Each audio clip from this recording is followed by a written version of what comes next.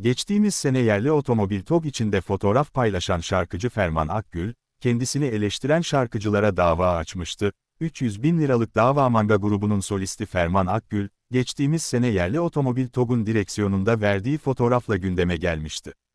Akgül'ün bu fotoğrafına sosyal medya üzerinden yorumlar yapılmıştı.